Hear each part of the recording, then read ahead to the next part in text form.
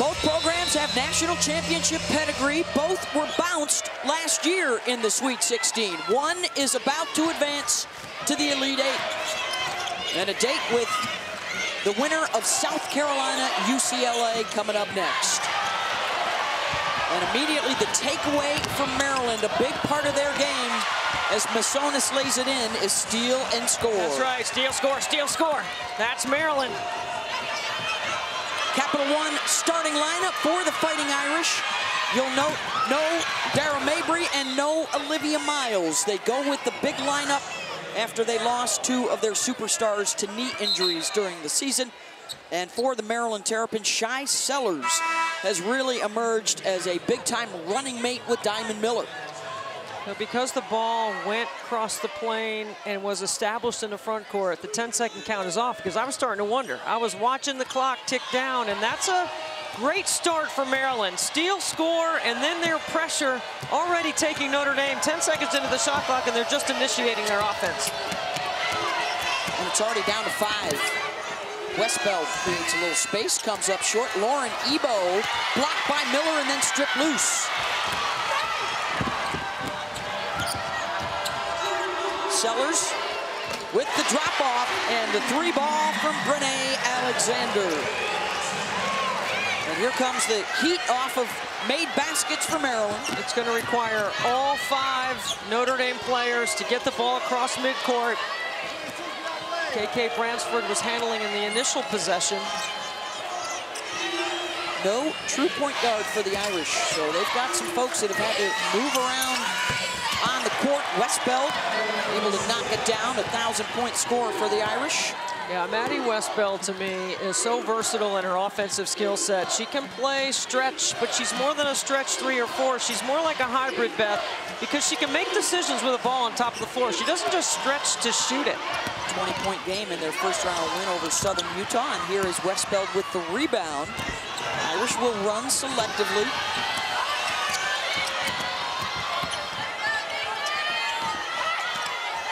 Westbeld, and now Watson drops it off to Ebo. Their front court in their first two games, Debbie, combining for over 50 points and over 50 rebounds. And that's the difference right there. Maryland speed and quickness, their ball pressure, and then the high-low game of Notre Dame with that post size. That's the contrast here today and which style will work to advance to the Elite Eight. Citron steps behind the screen.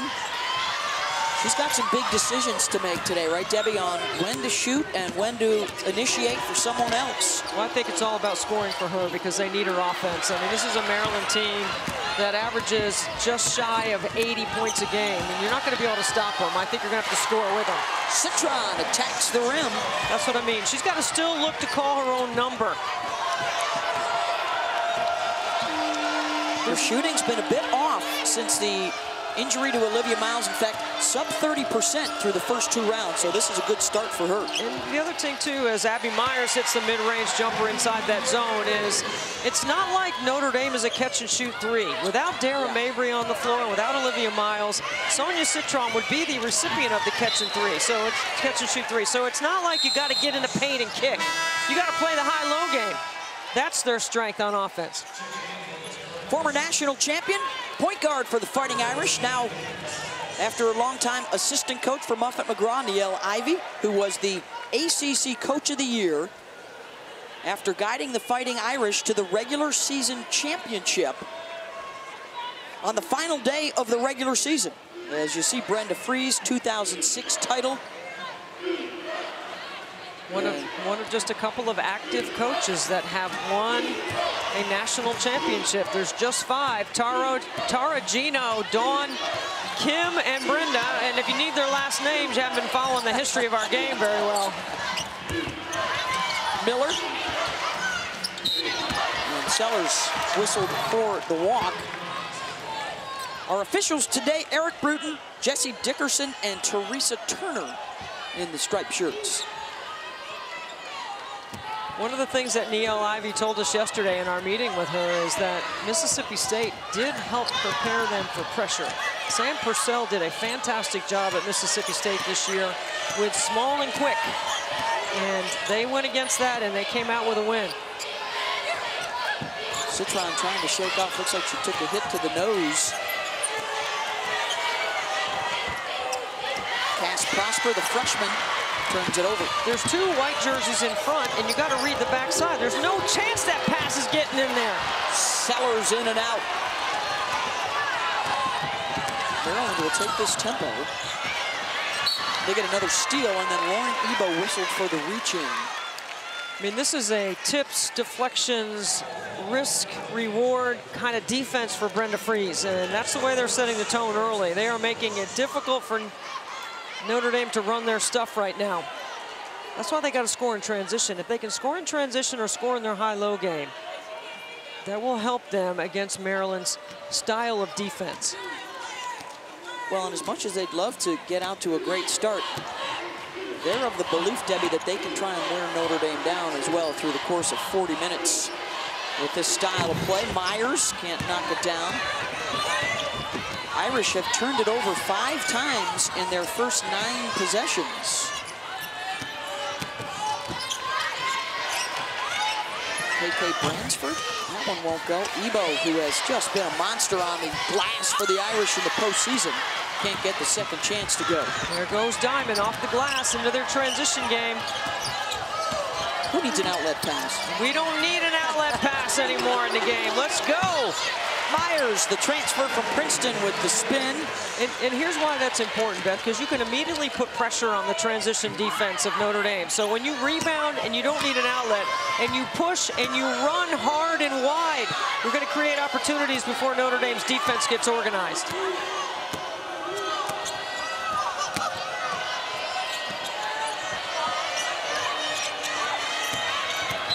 Prosper, fouled by Masonius on the drive.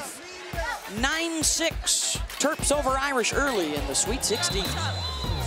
And they are trying to set that tone early. Five points off of five Notre Dame turnovers as they've been able to steal and score. And they take Notre Dame deep into their offensive options, too. That's the other part of being disruptive with your defense. Notre Dame hanging around due to their work on the glass. Prosper with a couple of offensive rebounds and finally ripped out of there by Lavender Briggs. And here is Alexander. You got to respect the three, and she goes by the defender for the lay-in. That's why you push in transition, right, Beth? You run the floor wide. Maryland is so skilled offensively in doing those things well. It's the kind of offensive habits that you create from day one. Terps have scored the last six in a row, so now they Notre Dame gets Citron off the point and back to the wing. They like to run that Iverson cut, and they like to slip Westbeld off that screen, but Maryland defended it very well. Now watch how quickly, on a long closeout against a post player, that's where the speed versus the size becomes a factor in transition. Maryland is all gas, no brakes. Notre Dame, due to injuries to their starting backcourt, has had to adjust, and they are playing with a stronger front line here in the postseason. Bransford hangs and hits in the lane. And think about the job that Niele Ivey has done as Maryland gets a layup on the other end. Speed versus size. To get here, to this point, yep. what a job she and her staff, Niele Ivey, have done. Minus a really good backcourt with experience. You have to remake your team here in the postseason. Watson, nice spin inside. The transfer from Oregon lays it up and in. Both coaches did well in the portal this offseason. For Maryland in particular, nine new players after they lost five of their top six scorers from a year ago, including the LSU All-American Angel Reese. And a bump and a foul underneath on Westbeld. This is just a tremendous job to advance pass. Eyes up on the rim, sprinting the floor hard, getting behind that Notre Dame defense. Debbie, they have assisted on all six of their buckets here in the first quarter. And now a trip to the free throw line for Bri McDaniel, the freshman from Chicago.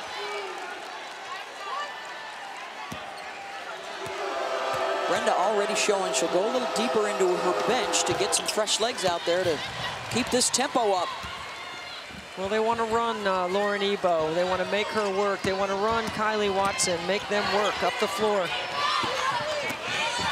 Good press break that time by the Irish. So usually Olivia Miles would take care of handling all the decision making in the open floor. Now you're asking everyone to do that.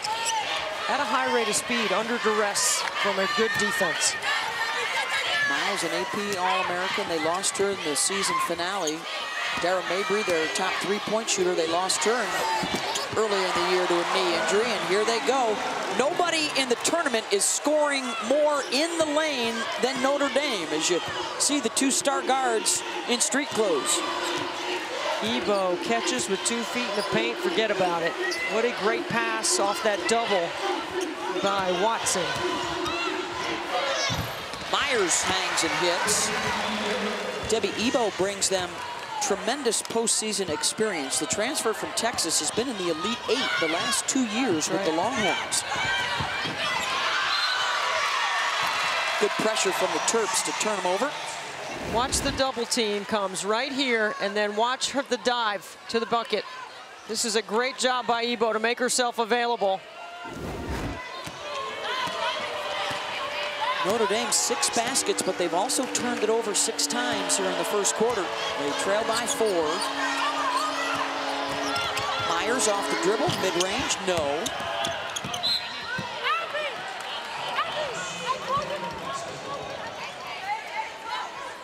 Miller talking with Meyers. It was important, you know, we talked to Brenda Frese with all the newcomers. You know, she talked a lot with this group about it's a marathon, not a sprint.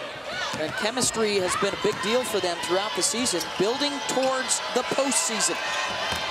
Ebo with the catch and the extra step. You mentioned it earlier. Uh, Maryland lost 85% of their offense. They lost some good players. They went to other places. And Brenda Frese continues to retool it.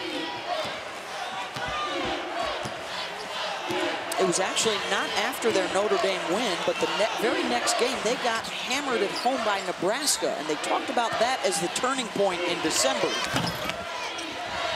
They've won 14 of their last 16 games. The only team that's beaten them, Iowa did it twice. Look at the hustle by McDaniel. Of course, the Hawkeyes already into the Elite Eight with Caitlin Clark. This is just great hustle right here.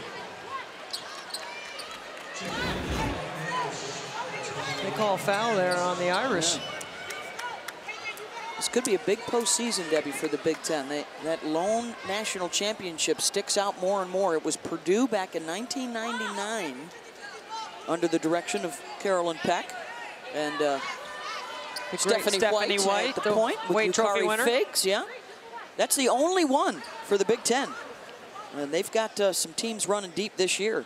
Hey, the NCAA Women's Championship continues. Speaking of that, with more Sweet 16 coverage today and then the Elite Eight tomorrow night and Monday night for you in prime time. All gearing up towards the Final Four in Dallas and the National Championship Sunday afternoon this year on ABC. Go to NCAA.com for all the latest on all 90 championships. Not sure why the officials have taken this long at the monitor.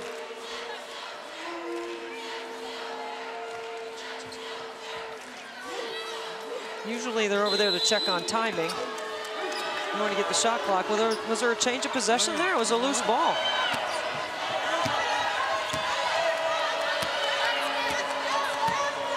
Sellers trying to get some more points off turnovers. They've had six steals already in the game, and whoop, they give it right back.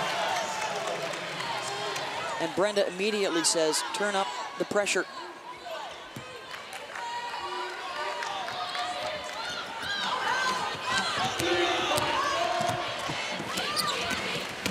Prosper, who joined the team mid-season, graduated high school early, goes with the left hand to lay it in. Why does everyone keep falling on the floor?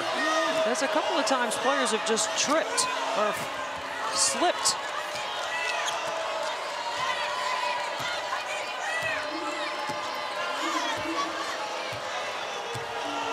Shot and game clock about the same. The lob over the top and the turnover. Irish can tie it or take the lead Come on now. the You got to make a better pass than that. Look at Prosper right here showing off her skill set. Playing off two feet in the paint. Gets to the front of the rim, finishes with her offhand. Finishing school inside. Westbeld checks the clock back to Prosper. Good if it goes. And it's a two-point game through the first quarter. The first of our four Sweet 16 games today. And Maryland with the early lead over Notre Dame. Coach Maryland said they wanted to use their speed to their advantage in this one in the first quarter. How would you assess how your team has handled it so far? Yeah, I thought that they got out a couple times in transition, got that one easy leak out, so I thought that was effective for them. We adjusted, we got back, um, and kind of shortened their run. You have eight turnovers in that quarter as well. What are some things that you need to adjust offensively just to get settled in? Yeah, I mean, just being composed, having composure. We knew what to expect. Um, we have to be stronger with the ball, ball fake, and make sure that we're not putting our teammates in the wrong bad spots, half court and at the corner. Thanks so much, Coach. Thank you. Well, we talked about this being a big story, Debbie, and Notre Dame. The eight turnovers, five points off for Maryland. The Terps already with six steals and seven fast break points. It has a physical and an emotional and a mental effect on a team, right? You already know that you're shorthanded in the backcourt.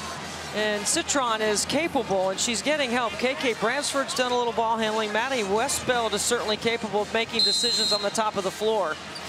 But it's the wear down, relentless 40 minutes that you worry about if you're Niele Ivey. But right now, you're kind of going, it's a two possession, or one Well, possession game. We're they in good got, shape. They got 12 of their 14 in the paint. So the speed working and the size working. And a two-point game as we start out the second quarter. Notre Dame switching up out of the zone. They've gone to man, and they've gone with uh, staying with that tall lineup to give it a try. Corner three and an open look for Lavender Briggs. That's the issue. If you're going to go man, and Ebo's got to guard someone, and she doesn't want to come out of the paint. She can't, 37% shooter. she can't get there. They've got her, they've got Abby Meyers to stretch the defense. Renee Alexander off the bench to stretch the D.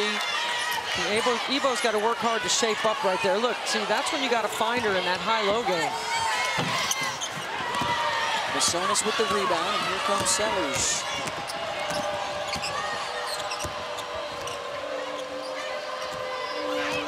Now, Masonius knows Ebo's on her.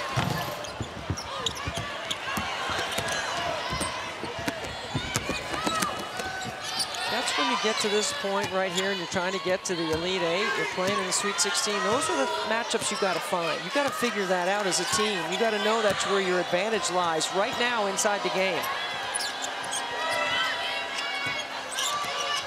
Westbeld. Down the left side of the lane, around and out.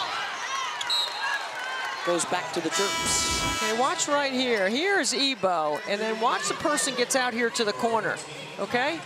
Uh, right there for Maryland, that is Lavender Briggs, who's a good three-point shooter. Well, Ebo doesn't even want to come out there. And she's wide open on a catch and shoot. That's too easy for the Terrapins.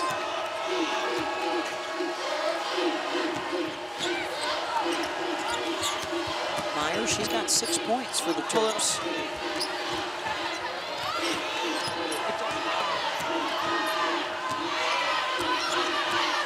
Clock winding down. Sellers splits the defenders. Tough shot. Good help coming from Ebo that time. See if they can get something going for Citron. She only took two shots in that first quarter, and they were both early. One was a drive, and the other was a read off a ball screen. Here she is with a touch. She's their first option. And Maryland's switching to keep pressure on her.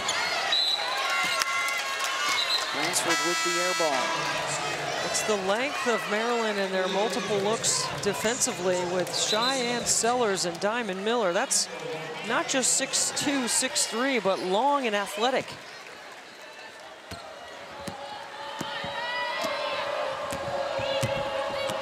This Pinzan, a, a point guard that came from South Florida and played for Jose Fernandez, so you know she understands the game.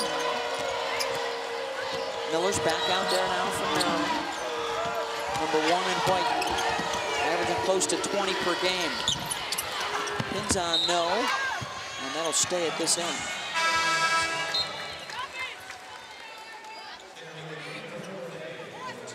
This pace, though, is a Notre Dame pace right now. If if Maryland can't use their speed 94, they got to use it 50, meaning side to side. Maryland turns it over. Well, since the Miles injury, Notre Dame is three and one, but their scoring has dropped precipitously. And so they are probably looking for a game more in the 50s than with Miles they could win in the 70s. Well, and it's taken away some of the scoring punch of Olivia of um, Sonia Citron as well.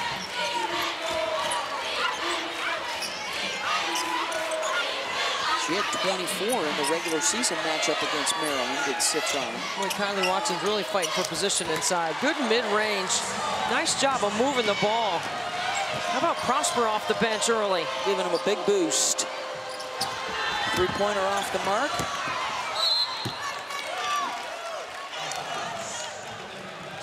Here's a look at what has happened since Miles went out. That uh, That's about 17 fewer points per game, and the shooting off about 5% without her ability to uh, score herself, but also distribute. Well, the pace of the game has changed because the size factor on the floor. All right, now this is a lineup that I really like for Notre Dame because Westbeld can do that. This is the lineup that I like because of her ability to play the four and stretch a little bit. She can open up the interior for Watson to post up strong now. Junior out of Kettering, Ohio, following in the footsteps of her older sister, Kat. Both of them 1,000-point scorers at Notre Dame. You know, it's interesting here, Beth, like most teams play four out, one in, right? But we've got three teams here. South Carolina plays with a double low post. LSU plays with a double low post. And Notre Dame is doing that now since their backcourt injuries. Leaves it off to Watson. More paint points for Notre Dame. And a 7-0 run for the Irish to take the lead. Ladies, Niele Ivey told me this team is playing with love. They lost their fire and their heartbeat with Dara and Olivia on the sidelines, but they said they know their personnel. Niele said just them understanding, them believing in themselves. During this tournament, they questioned if they had enough. They believe now that they have enough, and you can see it right now on the floor.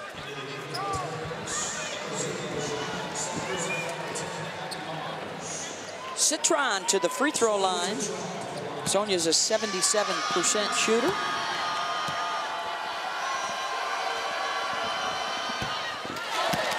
The NCAA Men's Basketball Elite Eight continues tonight on TBS. For more information on game times and networks, go to ncaa.com. Men's bracket has blown up. How about the Miami Hurricanes? Right? Men and the women moving Ooh. Both are in the Elite Eight. What a great job by Katie Meier. Got two ACC teams that have already advanced. Notre Dame trying to join them. Louisville last night with a 10-point win over Ole Miss.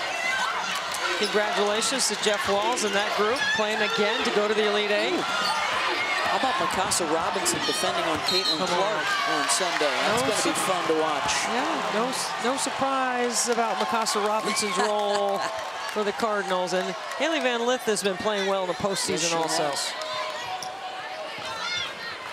She was not at all pleased with the way that South Carolina was able to take her out of the game last year in the Final Four, and she's been building towards getting back.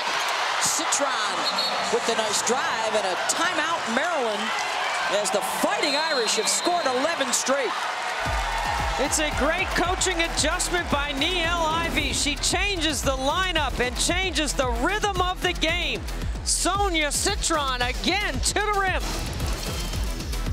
Thanks, Al. Aliyah Boston and the undefeated South Carolina Gamecocks are on deck. They will take on UCLA. The Bruins, one of just five teams this year to stay within 10 points of South Carolina as they faced off earlier in the season. And Diamond really forcing it right there around three blue jerseys. Aliyah Boston, last year's National Player of the Year. The offense is a lot better than last year's championship team. And Debbie, the defense may be historic for South I Carolina. Think, I think it's the best defense we have ever seen Ooh. in the women's game. We have some numbers to back that up. It's not just their length and their depth and their versatility. It's their field goal percentage defense combined with their block shots. It's unlike anything we've ever seen. Dawn Staley even thinks she's got the best defensive team she's ever had. That does it for me. This Sweet 16 has a new look. For the first time, four teams are led by four black head coaches. I came to Ole Miss because I wanted to be under a coach that looked like me. I feel like Coach Yo is a believer, a fighter. That's somebody I want to represent. Dawn, this has become routine. It really makes me emotional. I am forever in debt trying to repay the game. Niele, you've been here before. To see where we are now with the resilience of this group, I'm super proud. Yo and Kenny, welcome to the party. If I can continue to run a program like this, I think it can open up doors for a lot of other guys who look like me. Let's dance congrats are in order for all four coaches, but specifically for Niele Ivey. She said she's living out her passion for the game, and it's allowing her to break the barriers, to represent and inspire. She said her mom and also Muffet McGraw have been huge in just allowing her to be in the position that she is now, but she just continues to break, barriers and set history in this game. She was the first black female coach in the ACC to also win the regular season title. So she continues to aspire for sure, but she said I definitely love when my team can look at me and understand that they can also see her and be her. Yeah, she was a champion uh, point guard at Notre Dame for Muffet McGraw. Muffet with two of her former assistants in the Sweet 16. Kevin McGuff also with Ohio State. They're playing UConn later.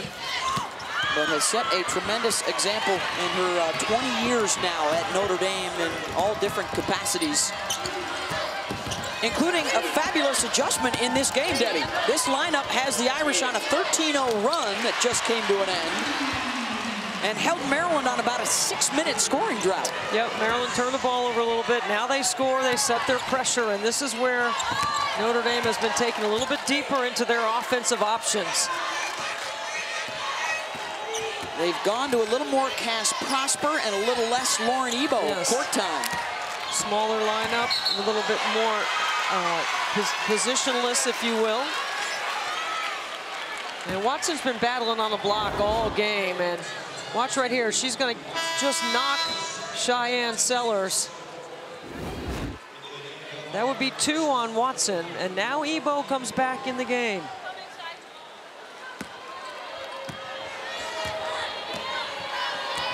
Remember, Ebo missed five games earlier in the year. She had a lower leg injury. Let's see if Brenda immediately tries to take advantage. Well, Notre Dame immediately goes zone. Miller wants a touch, working on Ebo, and a foul. Let's see, is that on her or Westbeld? It's a good job splitting that double. And see, that's another spot on the floor. Brenda Frese working to get Diamond Miller quality touches. We've seen her catch it beyond the arc. We've seen her in transition. Now she works her to the block. It's the versatility of the offensive package that Coach Frese has for Diamond Miller. And that's also the second foul now on Maddy Westbeld. So two frontline players with two fouls for the Irish. Diamond Miller misses on the first, sixth in the country in free throws attempted and made this year. Spends a lot of time there usually.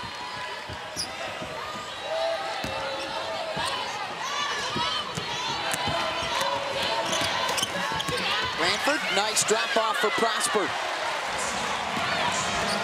I mean, it's a little thing, but Abby Meyers gambled on a, a pass, and it allowed Notre Dame to switch sides of the floor in transition, and that's hard to guard when you can advance past the ball through that kind of pressure. Masonius out of the short corner, and look out, Notre Dame. That is the third personal foul on Westbeld. I mean, I get Niele Ivey leaving her out there because you trust her, because you need her offense. She's going to get called for this one on a box out foul. She had a 20-point game in the first round, a 15-rebound game in the second round. A key cod for the Irish out, and another foul down low. That's two on Lauren Ebo. This is a smart play by Shyanne Sellers. When the defender has their back to you on the baseline, just throw it off their butt and go get it. Now she draws a foul to get to the line. All Big Ten team this year, as well as the All Big Ten defensive team. She brings what Maryland calls the dog mentality. She was instrumental in helping to build that chemistry, their aggressive nature on the court. They were one of the more impressive ball clubs through the first two rounds of the tournament.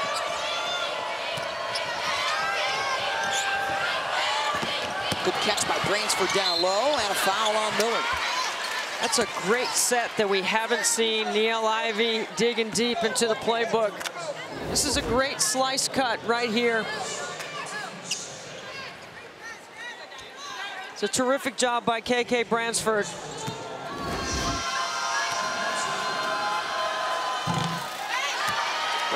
Short, freshman out of Cincinnati.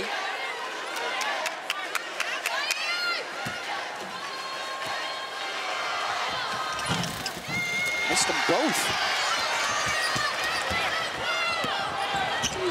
Two minutes to go here in the first half. Winner advances to the Elite Eight and a date with South Carolina or UCLA. That's our second game coming up here in Greenville. And then a doubleheader later today from Seattle. See, Maryland has played on the top or outside that zone defense. Abby Meyers did score in the lane on an earlier play, and now you take a long three and a quick transition up the floor by Sonia Citron. You got to get inside that Notre Dame defense, not play on the outside of that zone. Citron with eight here in the first half. Diamond Miller has yet to score a basket in the first half. There you go. She heard me. I mean, she is a, a decent three-point shooter, but she's really good off the bounce. That would be her 19th three of the season. Ebo with the catch over the top of the foul. After a shaky start against the pressure, Notre Dame is starting to pick it apart. Well, they're moving the ball. They're playing over the top of the pressure. They're keeping the floor spaced. And as Niele told Angel, they're keeping the ball out of spots where Maryland can trap. You can't throw the ball in the dead corners and, and over the free throw or, or the midcourt line. You got to stay off the sideline. Ebo's a 73% shooter. Hey, we got more Elite Eight coverage for you coming up. The nine seed Miami against LSU and then Louisville, Iowa. Sunday night coverage starts at 9 o'clock. The Hurricanes can match the lowest seed to ever reach the Final Four. Somewhere Gary Blair is smiling. His Arkansas squad in 1998, a nine seed, the Yeah. lowest ever to get there. Uh, Christy Smith is smiling also. Oh, yeah. Sytia Messer. Yes. Difference in this one, Notre Dame turned it over eight times in the first quarter, but only one time in the second. And they have feasted on Maryland giveaways. There's playing inside that zone. Look at the collapse. Now you got to find the open shooter, and there it is. Four blue jerseys around Miller, and she gets it to Brinae Alexander, who's shooting 50% from downtown in the tournament. That's a, that's the way you beat it. You got to go inside out, collapse that D.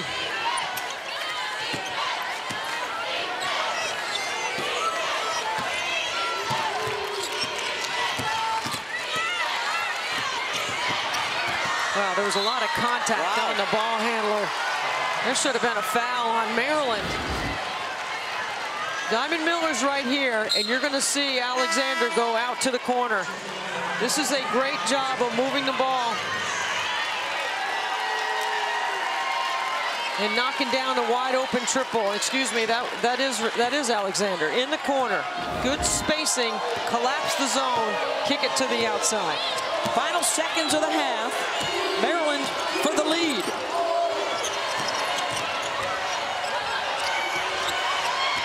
Briggs doesn't get it off in time.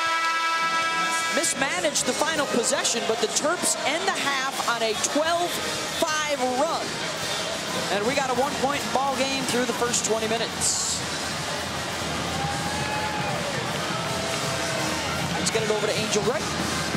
Sonia, you guys look like a completely different team in that second quarter. You also went on a 13-0 run. What was the shift for you guys? Um, I think just being aggressive. I think that their press really um, made us hesitate in the beginning. So our coach talked about us, talked to us about just breaking it, being aggressive. I mean, look to score, don't slow it down, because that's what they want us to do. Thanks. Thank you. That is today's game changer brought to you by Under Armour and those points in the paint. We kind of expected that advantage. What we did not expect was the advantage on points off of turnovers and fast break points for the Irish. And, and, this is the way Maryland started the game. Brenda Frese told us from her locker room speech, set the tone. They did that in the first quarter to start the game. Here we are in the third quarter, getting another turnover. And can they get Diamond Miller going? Just one for four, four points in that first half. She scored 31 on the Irish in their regular season matchup, the only opponent to drop 30 on Notre Dame all season. Here she is, one and white. I think it's the quality of the catch and what she does with it. Now, that was a much better shot selection because she's capable of that long stretch to the rim. It's where she catches the ball.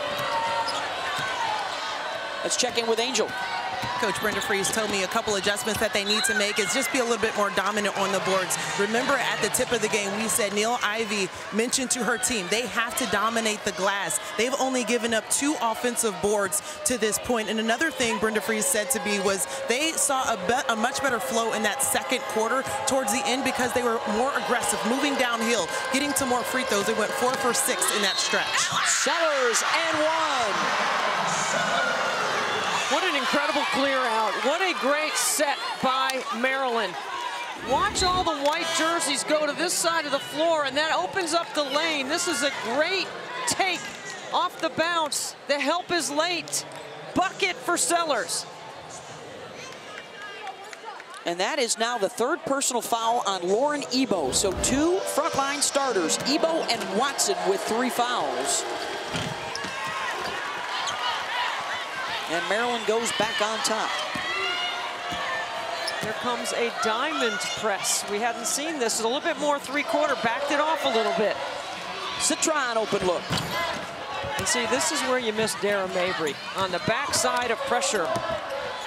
And that's three consecutive turnovers to start for Notre Dame. And then Maryland gives it back. There's Dara Mabrey, one of the great three-point shooters in the history of Notre Dame. And on the backside of pressure is where she stretches the floor because she shoots the three so well. She makes your defense stretch the length of the floor. 301 career triples. She and her two older sisters, who also played for the Fighting Irish, combined for over 800 in their Notre Dame careers.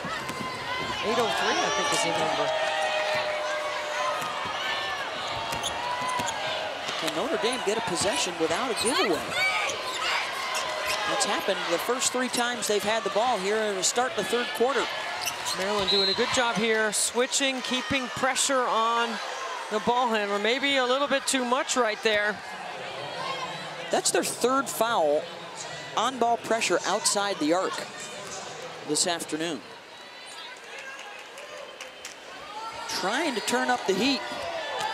Isn't it nice to say this afternoon at a basketball game? Love this early tip. Sun will be shining when we get out of here. Famous last words. Last time I said that, I ended up doing a 17-inning softball game, Debbie. Thanks a lot. Quadruple overtime on the way. Bransford off the bounce. Offensive rebound for the Irish. Their board work doing some damage. They don't get the second chance points, and now Miller, the one-woman fast break. One for six right now. She just steps through when you have the left. Go up with the left hand or pull up and shoot a bank shot. Westbeld lobs over the top to Watson. Triple teamed and she finds Bransford. Good assist for Watson.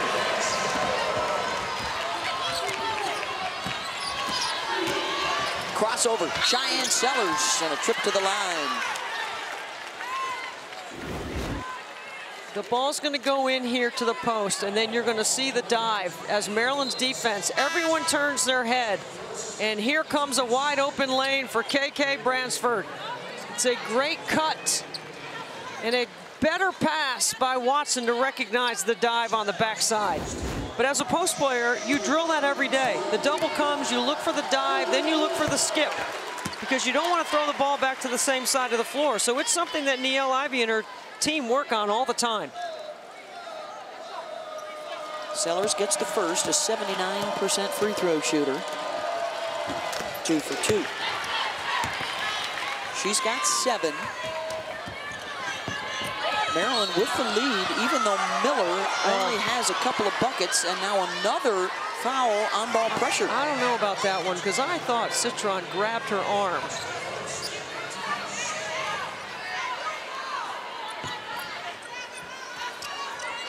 You know, sometimes we're sitting on the same angle as the officials.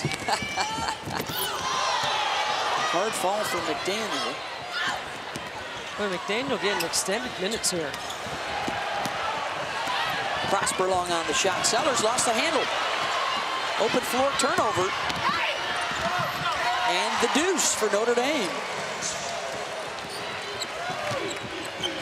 Six for Bransford, and they give it away again.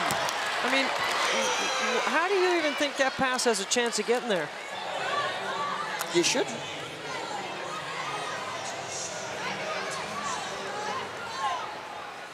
Maryland usually with a huge turnover advantage, but they are not helping themselves here with these giveaways to the Fighting Irish.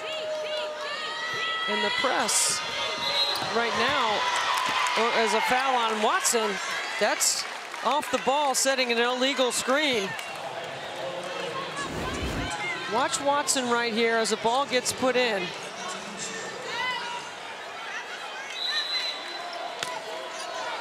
Honestly, I don't know what's wrong yeah. with that screen. That's her third. See, now I don't like to be spending my time on the officials. Inside Sellers is carrying the load right now for Maryland as they go back up by two. He's got nine.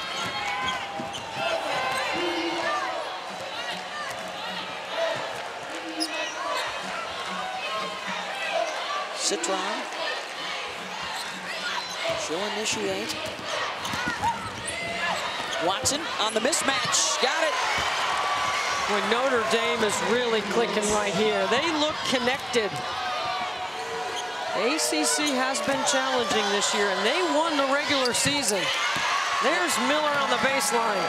Let's see if that gets her going.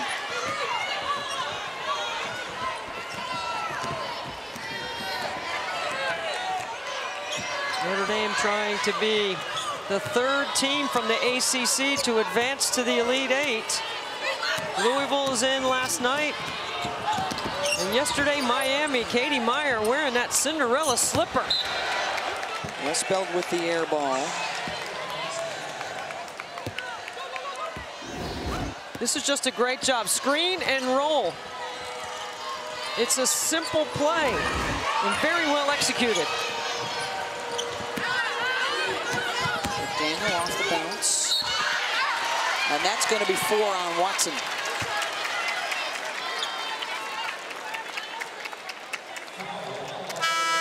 Notre Dame has done a really good job of taking away the three from Maryland as well. This is a Maryland team that makes seven a game.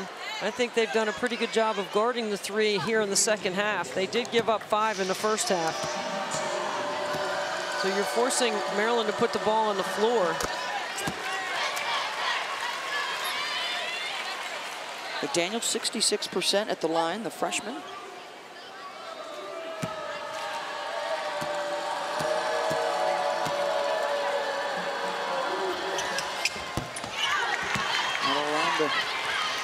Throw that full court press out again.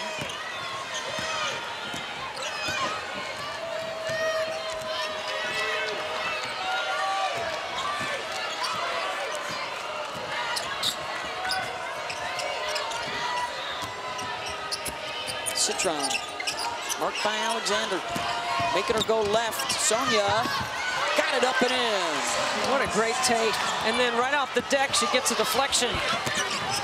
Sonia Citron can finish with her left hand. Now into double digits with 10. Notre Dame will allow McDaniel to shoot all day. Westbeld got the advantage on the run. Maddy Westbeld with the one-hander.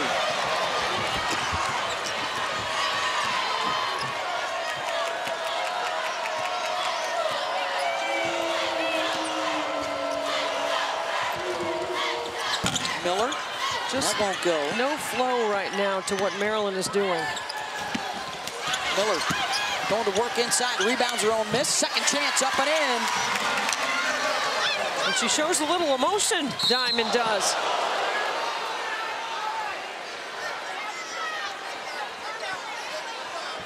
And McDaniel slams into Citron.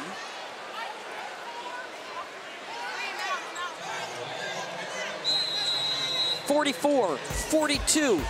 Terps on top of the Irish here in the third. The Hokies and the Gamecocks are the only remaining one seeds in the tournament for the first time in 25 years. Two one seeds got bounced before the Sweet 16. The product is the narrative. Been saying it all for a long time, not just this season. That's how good the game is. Talent is stretching out around the country. Some of the big stories coming up. that We, we could still have a Tennessee uh, UConn game in the regional final. Virginia Tech can still get to the Final Four for the very first time. Virginia Tech and Tennessee did play earlier yeah. this year. Virginia Tech won that game. Tennessee's playing very well under head coach Kellie Harper. Few teams have been on the roller coaster ride that Ohio State has been on this year yeah. with their injury issues. I, I, guarantee you that game will be entertaining between Ohio State and UConn. Yeah. Ohio State will play 94 feet of full court pressure. They're always in the game with their three-point shooting ability and their ability to turn teams over. And the other subplot, uh, the return of Azzi Fudd has UConn oh feeling pretty good. They are trying to get back to the Final Four for the 15th That's, year in a row. That is amazing. That number's yep. phenomenal. Got a tight one here in Greenville. And the three ball is good from Lavender Briggs. She and Alexander, good shooters off the bench for the Terps. So it's an indicator with Ebo, it's zone. When there's no Ebo, it's man-to-man. -man, and Notre Dame is doing a good job of mixing it up because they need her on the floor to yeah. score. They've been uh, doubling up the Terps in the paint, but they've got foul problems with all three of their frontline starters. Prosper short on the shot. Watson is already out right now with four personal fouls. Miller looking to attack. Swatted out by Prosper. I mean, look at Prosper right here playing some D. Very nice. Freshman from Montreal.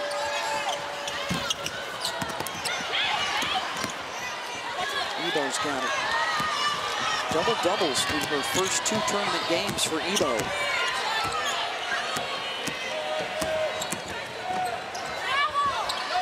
Quick shots here on both sides last few possessions. Miller leading the break. Count it. That might be the emotional lift that Diamond and her teammates may need. One bounce, hard take off the glass, absorbs the contact to get to the line, and puts another foul on Lauren Ebo. That's her fourth. So two frontline starters with four fouls for the Irish, and Niele Ivey will have to dig deep. Nat Marshall, the junior from Queens, will come on as Ebo departs. 11 points now for Diamond Miller. Isn't it interesting that neither team really has a natural point guard on the floor?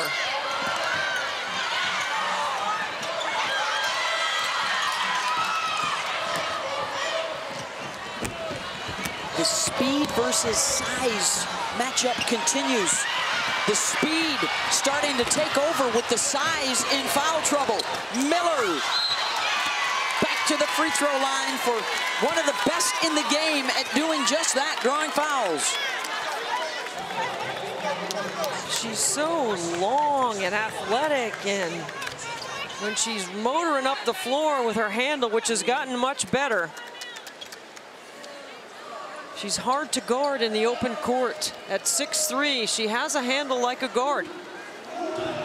Maryland trying to extend their largest lead of the ball game, and the relationship between player and coach, Angel, is a good one. Absolutely. How about the evolution of Diamond Miller from her freshman year to now? Brenda Frese said in her first year, she couldn't even give me eye contact. She was shy, anxious about stepping on the floor. Now she's completely opposite. At times you can see her. She's the loudest voice on the floor, making sure everyone is together in huddles. She is the leader, and it's by far. There's no question about it. Her maturity and the way she's handled her business is what you go to college for, quite mm-hmm. frankly. And she gets the block shot right there. Maryland enjoying a 7-0 run. And just to put a button on that, by the way, with Diamond Miller going right now and Aliyah Boston going next, you might be looking at the top two picks in the WNBA draft in a couple of weeks. You talk about guard-like skills, handling up the floor off the glass. Sellers, 9-0 run for Maryland.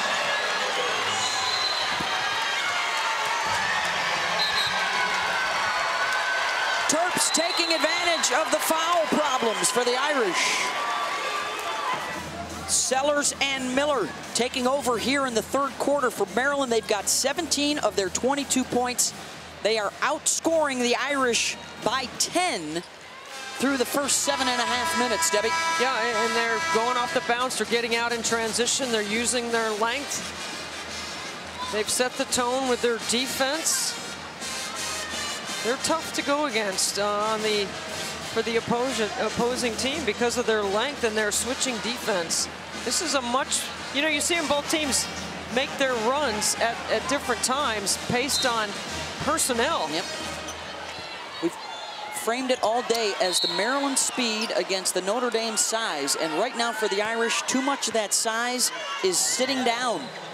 Four fouls on Kylee Watson, four fouls on Lauren Ebo, and Maddy Westbeld continues to play with three.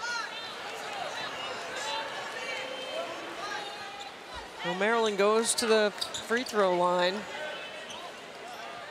Or excuse me, Notre Dame to the free throw line. Maryland putting Notre Dame on the bonus early. Well, I'd say 230, like they've done a good job of not putting them on the line to this point, playing good defense. Citron hits on the first.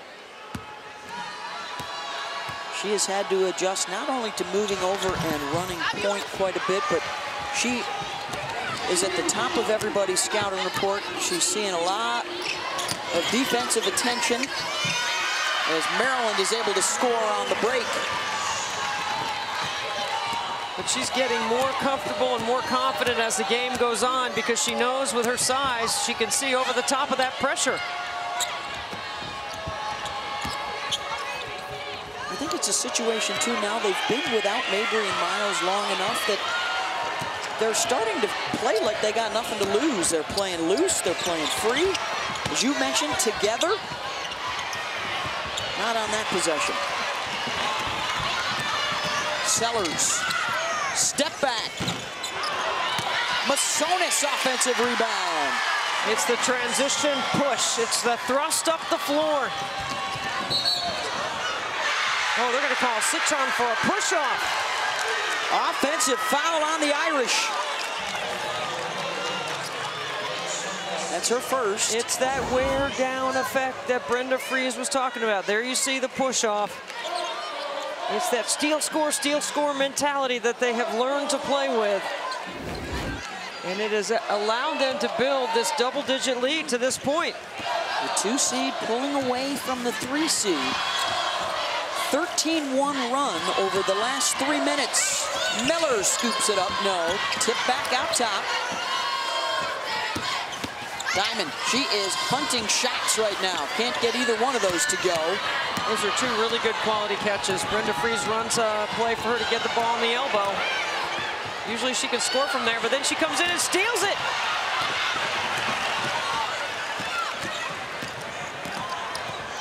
Maryland, no. Long rebound, they get another one. And Brenda says, hey, let's set something up for a good one here. You got a, yeah, two for one here, so you want to make sure you get a good possession. Sellers. Plus, I think Sellers needed a break. Mm. Miller gonna have to jack one up. And Masonius steps out.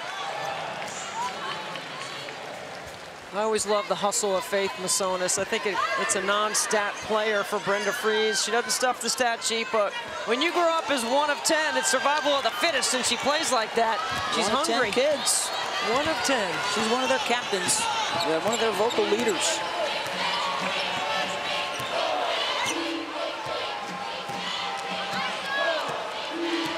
Take this down as far as you can to not give Maryland much time on the backside. Marshall. Citron blocked by Sellers. I think that one was blocked by Alexander. Or excuse me, Briggs. Officials getting together. Was there a change of possession? Shot clock violation right here. I mean, and, and should there be more time on the clock? Blocked by Sellers. KK Bransford. The ball goes out of bounds. It's when it crosses the plane and lands out of bounds. So they're going to look at the There's time. A review for a possible timing error.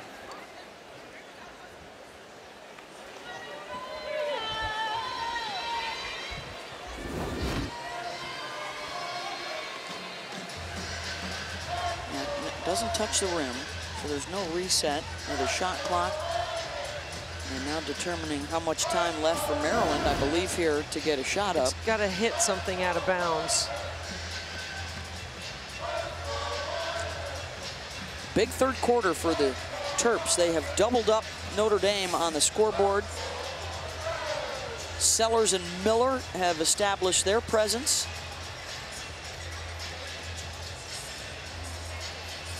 Don't forget the Sweet 16 continues next here on ESPN with undefeated South Carolina and UCLA.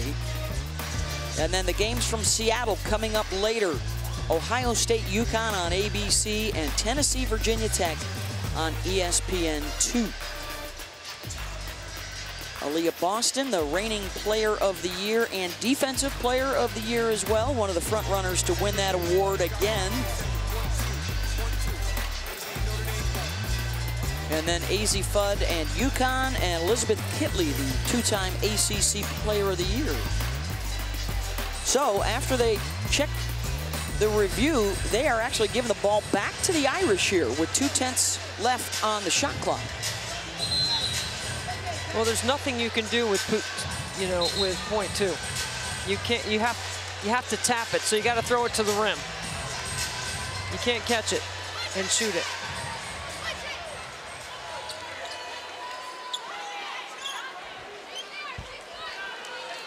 You just don't want to commit a foul if you're Maryland here. It's also six seconds back on the game clock for Maryland to work with. There's the lob inside, and there's the violation. That cost him a second and a half, and Brenda's like, hey, wait a second. Yeah. Now she wants to put a little more time on the clock, because that was 1.5 went off the game clock. But it should only be 0.2, right? Isn't that all it was left well, on Well, you have to take at least 0.3 off the clock. It's a rule, so it should go from six to maybe 5.7. I'm an, Engli I'm an, English major. I, am not allowed to talk uh, about math. They I'm don't let me math. talk about math. I'm doing math right you now. Talk, you do the math.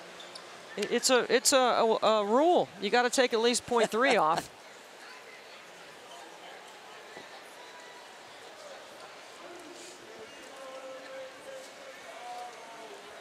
Looks like 0.5, so five and a half.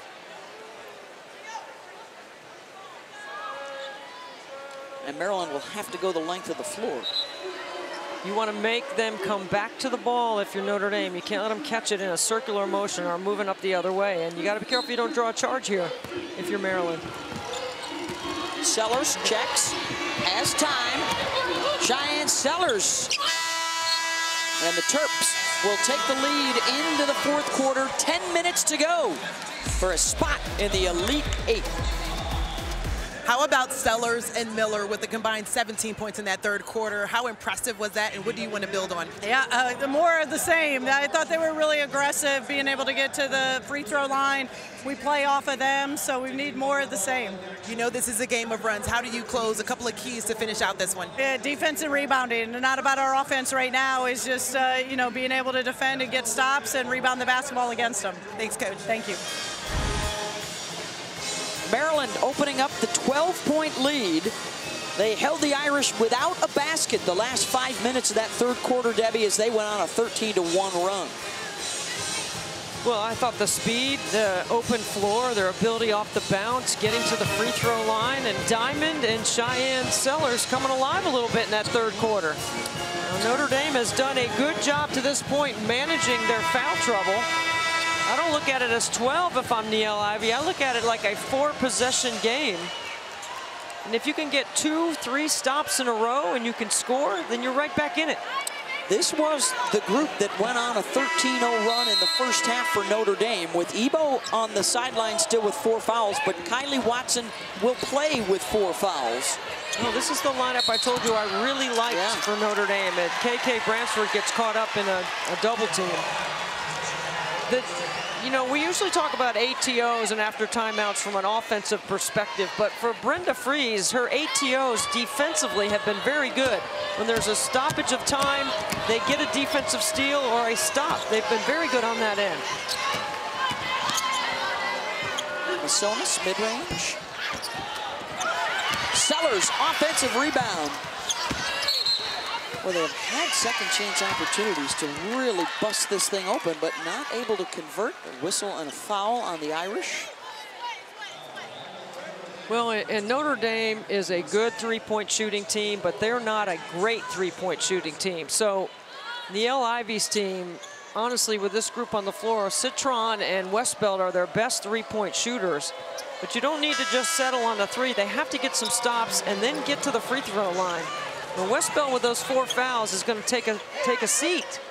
That's a tough coaching um, move right here, right? Because you're down 12 and you're taking one of your best players with four fouls to the bench. And Sellers gets a kind bounce. I wouldn't leave her over there too long. That whole front line, four fouls for the Irish. Maryland trying to build on a big third quarter. Notre Dame trying to stem the flow here and get it back in their direction. A really good job of defending that action by Maryland. That's a scouting report defensive series. They're running that play I call America's play, Beth. Reject the screen, drive baseline, rescreen, fill behind. They switched on all that. Whoa, almost the three-point play for Meyers, who crashed pretty hard. America's play because everybody runs it. Right yes, that's exactly right, and everybody knows it. Yes. Late on the help by Marshall. And Abby Meyers, the Ivy League Player of the Year last year. We're seeing a lot of kids like her, right, that have had success maybe at a lower level, and with their final year of eligibility, they decide, I need to challenge myself against the best. And a lot of teams that are making deep runs in this tournament have players like that who have elevated their games and trying to make a big moment in the postseason.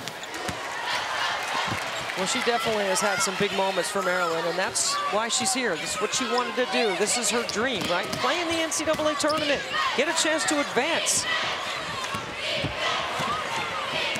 Winner of this one will have to roll through South Carolina or UCLA. That's our next Sweet 16 here in Greenville. Bransford scores down low. Yeah, that's the first Irish basket in their last seven shot attempts.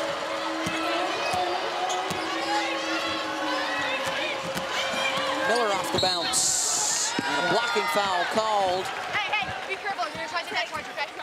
I'm going to attribute Diamond's second half partly to her aggressiveness off the bounce. The other part that I've been saying is how Brenda Frese gets her quality catches in different spots on the floor where she can be effective. She is a really tough check. And, Brenda has coached a ton of great offensive players in her time in Maryland. And Diamond is right up there with him.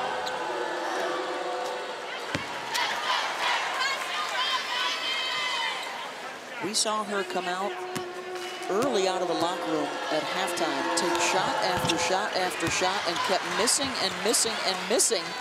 But she kept shooting. You know, you got to see one go through the net. And uh, she has come out much better offensively, Angel, in this second half. Oh, yeah, absolutely. One of the words that best describes Diamond, I would say, is persistent. Just being here all four years. She said, this is something that I am proud of. She said, I stayed at one school. I went through everything. I worked hard to get on the court her freshman year. She said, playing through injury and coming back last season. She said, I've been steadfast. I journal. She said she has a side Instagram and she talks to herself. She makes sure that her mentality is always correct when she steps on the floor. I self-talk all the time around Beth because she doesn't listen to me.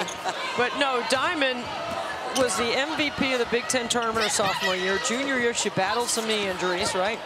Very nicely yep. done by Angel about her freshman year trying to get minutes. And then this year, she's turned into this incredible leader. And she wants to win above all else. It's not about Diamond, her numbers. It's about the team's success and when they lost some good players in the portal, they picked up some really good players, and she has helped them by keeping them all connected. Notre Dame turns it over again. By the way, you're not talking to yourself. You're having a staff meeting in your head. and yeah, I've got many committees. a lot of committees up there. Here's Miller. Cross. Um, too many steps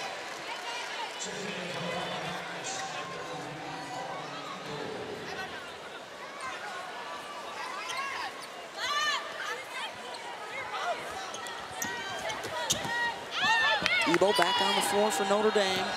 They got to start making a move here. Seven and a half to save their season. Well, and Ebo, if she's going to be on the floor, you got to get her posted up, and you got to get her a deep catch. And there's some miscommunication right there.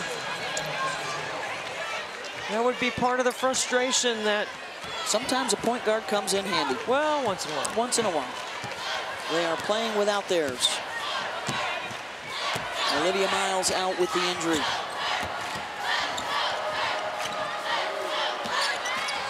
Masonius. Sellers. She has really elevated her game as well this year. I was giving her a hard time yesterday because I think she's grown. I mean, I, I know, I think her dad is seven feet, right, Brad Sellers? Yeah, yeah. All right, so from her freshman year to now, she has grown at least an inch. When we went back to back with her and Diamond, there wasn't much separation there between them, and Diamond's legit 6'3". Angel? Debbie, you're right. Her dad is seven feet, and he's pretty much a big deal. I mean, Brad Sellers is currently the mayor of Warrensville, Ohio. It's the cities he's from. And most notably, he's also an NBA vet who played with Jordan on the Bulls when he made the pass to MJ that ultimately helped them beat the Cavs to win the series in 1989. I'd say leadership also runs in the family. Shyanne was talking about how she was pretty much the GM to get the right pieces on this roster after her freshman year. And he's obviously helping the great city of Warrensville, guys. Is he listening to us in that right ear? Did you see he's got the uh, he's got the ear, or has he got Maryland radio on? Taking it all in with his daughter playing a huge role for the Terps here in the second half.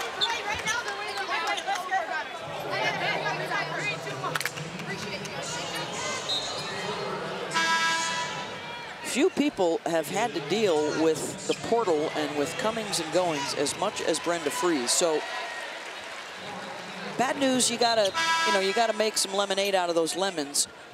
She and her staff have figured out ways to incorporate new players year in and year out. You lose 85% of your scoring. You're watching one of your former players, Angel Reese, have an All-American season at LSU. And, oh, by the way, they're in this building in the opposite side of the bracket. And yet, they have come together, gelled throughout the season, playing their best ball down the stretch. And other than running into Caitlin Clark a couple of times, they, they have not lost since early January. And they do have a, a W on their resume yeah. over Iowa. They avenged one of those. You know what? I, I, think, you know, Brenda has always been known as a really good offensive coach, but I think Diamond and Some others are part of the transition to becoming more of a two-way team, and that's what Shyanne Sellers wants them to be known as. She told us that, you know, we, we do take a lot of pride in our defense. It's not as much the soft cover that it used to be, as we've seen all game. It's an extended trapping. You know, you don't know when the traps are coming. It's a little bit more unpredictable than it's been in the past. Miller knocks down the jumper. 16 now for Diamond.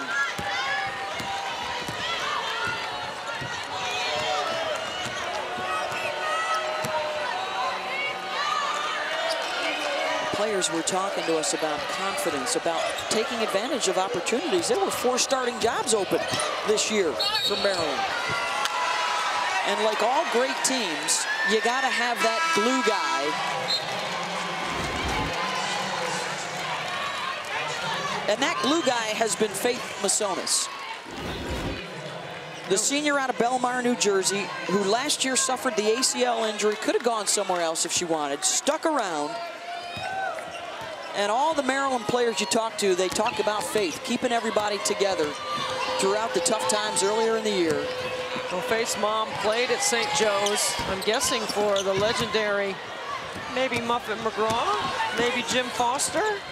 Also was on the coaching staff with uh, Coach Auriemma. Ellen is her name. Got a good basketball family. Yes. A lot of, a lot of fighting at the dinner table for an extra muffin. How about today's Capital One rewarding performance? And it's a Terp combo, Debbie. Well, it is a nice combination if you're a Terrapin fan because Shyanne Sellers has been terrific off the bounce. Brenda Frese has opened the court up with their spacing. And Diamond Miller has been able to get a quality catch here in the second half. They have been fantastic, combining for 25 of Maryland's 36 second half points. They also combined for seven assists, three blocks, seven steals, Woo. nine rebounds, and 31 points. We're working on a combo quadruple header for the Terps. And after uh, Notre Dame had the advantage in the first half, we talked about wearing opponents down, and Maryland has done just that. They've scored 20 points off of turnovers. They've scored 16 fast break points. And they have fouled out Lauren Ebo. And Westbeld and Watson continue to play with four fouls. I thought it was a, a critical foul in the beginning of the fourth when Westbeld picked up that fourth foul with a 12-point deficit. It was a tough coaching decision for Coach Ivey and her staff, but that allowed Maryland to just get a little bit more separation at that time. Now it's a 20-point Maryland lead.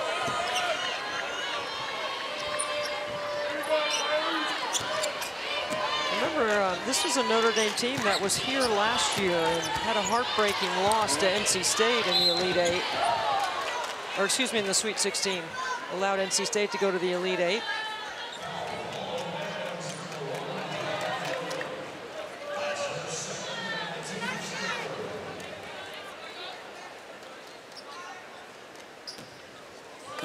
South Carolina and UCLA. Maryland saw South Carolina earlier this year. Diamond Miller did not play in that game. I think they're going to get Diamond. Uh, That's what you call the butt foul. Diamond, Diamond struck out the uh, struck out the backside on that one on the cutter.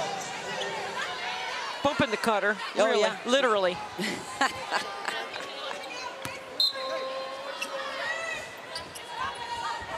Does UCLA have a chance, Debbie? They were close against South Carolina in their regular season matchup, which was in Columbia. So they'll be used to the hostile crowd that will be pro-Carolina here in Greenville. And they do have Charisma Osborne, who's dropped 36 on Oklahoma in their second round win, the best scoring game of any Bruin ever in the postseason. Well, well here's the thing. Uh, UCLA plays a style that's not common in the SEC. Um, it is a spread, five out, empty the low block, and you're going to force South Carolina to have to guard a lot of cutting and screening action. Okay, there's Dawn Staley, though, will have a formula for it, and they've seen it before, but I can tell you this, UCLA, having played South Carolina, it's very similar to what Dawn says about playing UConn. If you don't keep yeah. playing UConn, how are you ever going to beat them, right?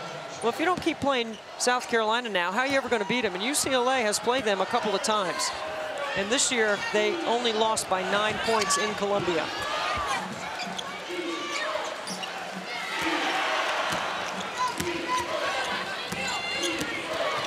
Of course, when you talk about South Carolina, undefeated, and it's a rarity that opponents can keep it close against them. They're beating foes by over 30 points per game. Well, They've got not one but two National Defensive Player of the Year finalists.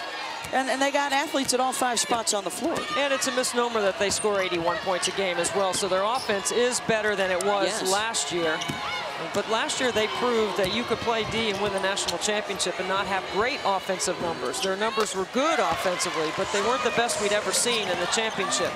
But so this year it's a much different situation. Well, the front line is unparalleled right now in the game. They, they can bring bigs not only in their starting lineup, but off the bench. And it's a special senior class at Carolina that wants to go out with another national championship ring. Remember, they, they almost had a shot at a second. They were one of the favorites with Oregon. In fact, Carolina was number one when the season ended due to COVID a few years ago. But they have one from last year. They're trying to get another one. And when you put into perspective just how good the senior class is, okay, here's some classes to remember and the faces of those classes. Back to Chamique, 131 wins. Taurasi years, Maya Moore. Look at Maya Moore's class record. Of course, Stewie with four national championships, that group at Connecticut. And South Carolina has a chance to join that kind of conversation with another national championship. Their senior class, they call themselves the Freshies, have rarely lost throughout their four-year careers. It's pretty amazing how you yeah. can come together and, and, sacrifice for the greater good for a better cause, right? And that's yep. exactly what these young women have done at South Carolina. And I definitely believe this house will be uh, Columbia Northwest. Uh, yeah, yeah, yeah, yeah, Northwest. Don't start going to transitive property and derivatives on me. You know, well, let's let's talk about Notre Dame for a second, Beth, because yep. you know Niele Ivey, long time Notre Dame, won a championship as a player, has had incredible success. This year wins the ACC regular season and what I have thought was the best year the ACC's had in a deepest, yeah. maybe ever the deepest that the league has ever been. Eight teams make it to the NCAA tournament, the most of any league. And, and her team, you know, she's she reinvented her team a couple of times with injury. First it was the Mabrey injury, then it was the Ebo injury, and, and then, you know, then it was the Olivia Miles injury. And, you know, it's not going to diminish the success they had. It's certainly stuff that they can build on. And uh, you can see the tears for Dara right there. I mean, this is when it hits you at home when you're watching a senior knowing she didn't get to finish the way she wanted and her team's not going to finish the way they wanted. And it's heartbreaking because we know the Mabrey so oh, well. They've we been know. around for, what, 11 years, the Mabrey sisters. Patty passed yeah. the Kleenex. Lauren Ebo, who transferred in to get a shot at a Final Four. She's one of the few that won't be back next year, those, those two. Everybody else, of course, Olivia Miles has just been announced as a knee injury. Hopefully, she would be ready to go to start next year. And then Niele Ivey is bringing in not one, but two McDonald's All-Americans next season. So plenty to look forward to for Notre Dame. Plenty to look forward to for Maryland. They're celebrating a Sweet 16 win, and they will start to get ready for the Elite Eight. It's a remarkable job by Brenda Frese as well. I mean, you know, when you lose 85% and you lose some star power and you reinvent or retool. It's not even reinventing. It's, it's a style of play that works. It's proven to win. And she has more athleticism and they have length and they've got some players that are hurt that'll be back next year as well. Lavender Briggs got it.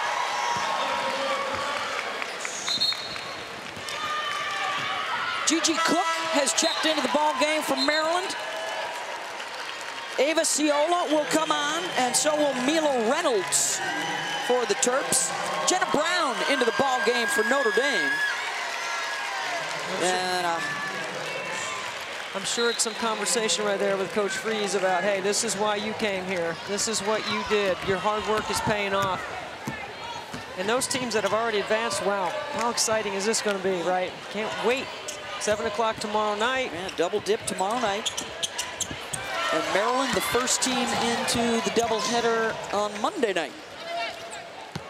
They will play either South Carolina or UCLA, and then still to come this evening, doubleheader from Seattle as we wrap up the Sweet 16. Can't you wait to see what Jeff Walz is going to do oh, with yeah. Caitlin Clark? Mm-hmm.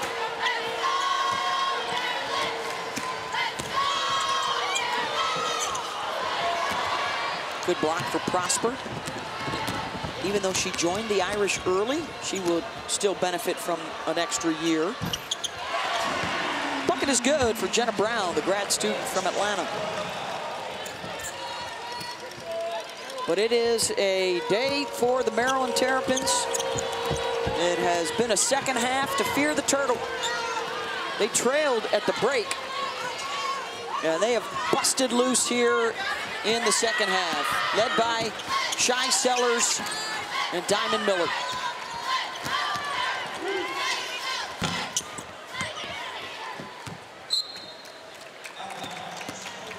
Bruins are getting ready.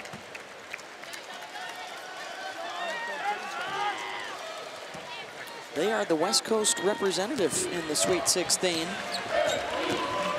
Utah knocked out yesterday. Top-seeded Stanford eliminated in the second round.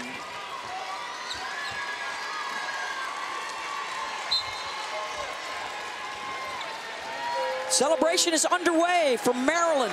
The Terrapins, a winner over Notre Dame to return to the Elite Eight.